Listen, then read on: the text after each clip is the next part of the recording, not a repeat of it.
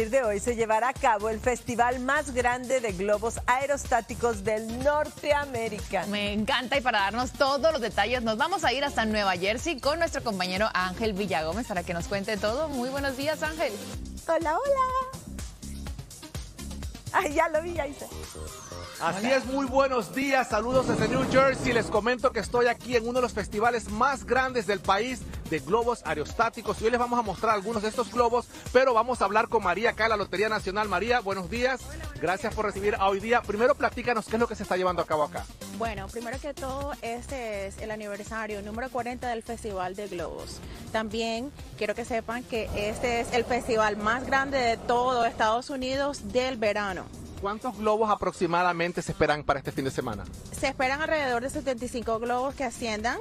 Entre otros tenemos ese que está basado en uno de los más famosos raspaditos de la lotería, que es el Teretito de la Suerte más de 75 globos. ¿Cuántas personas esperan este fin de semana? Esperamos alrededor de 165 mil personas durante los tres días del fin de semana que va a ser el festival. ¿Por qué es importante para ustedes continuar con este festival de globos por casi 40 años ya? Claro, el festival es muy importante para la lotería porque crea muchos recuerdos en familia. Esto es un, un evento donde hay mucho entretenimiento para todas las edades, para toda la familia. Aquí pueden venir durante todo el fin de semana. Recuerden que empieza hoy a la una de la tarde y los globos van a ascender eh, dos veces al día, a las 6 de la mañana y a las 6 de la tarde los tres días. Todos los años tienen globos nuevos. Este año, ¿cuáles son los nuevos? Como te mencioné antes, el Cerdito de la Suerte. Tenemos eh, una réplica del primer globo aerostático que se lanzó, que ascendió en París en 1783. Y tenemos a Darth Vader, a un bizcocho o torta de cumpleaños y las abejitas. ¿Y las personas que se quieran subir como yo en unos globos, cómo puede ser?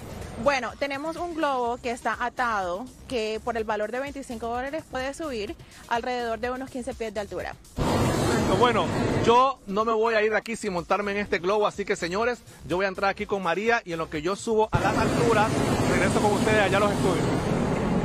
Buenísimo, gracias Ángel. ¿Te gusta subirte los globos aerostáticos? Eh, fíjate que nunca en mi vida me he subido, pero sí me llama la atención que he visto bastantes anuncios y vi un anuncio que me encantó que decía, si te mandan a volar, vente a volar en el globo aerostático. Entonces ya sabemos para dónde tenemos que ir. Sí, la verdad es súper divertido y bien importante que si quieren hacerlo antes de que haya mucho calor, vayan tempranito por la mañana.